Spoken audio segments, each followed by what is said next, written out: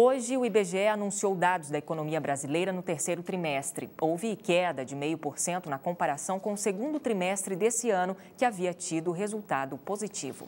O novo valor do PIB foi divulgado aqui na sede do IBGE, no Rio de Janeiro. No terceiro trimestre de 2013, ele recuou 0,5% se comparado com os três meses anteriores. Esse foi o pior resultado desde o primeiro trimestre de 2009, quando o Produto Interno Bruto apresentou um resultado negativo de 1,6%. O maior responsável pela queda do PIB, agora no terceiro trimestre de 2013, foi o setor agropecuário, principalmente por causa da queda da soja, da laranja, da mandioca e do café. O setor recuou 3,5%.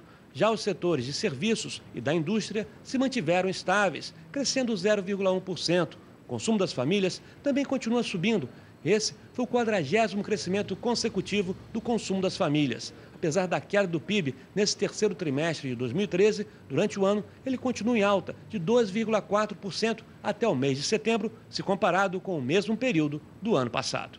A principal mudança entre o que a gente viu no comportamento do crescimento do ano passado, de 2012, em relação ao ano de 2013, é, é, a parte dos investimentos e do setor externo. O consumo das famílias continua como há vários anos contribuindo positivamente ao crescimento, mas em 2012 o setor externo não estava contribuindo negativamente, agora está, mas a gente tinha os investimentos contribuindo negativamente. Ano passado os investimentos caíram e esse ano está ao contrário, eles estão contribuindo positivamente.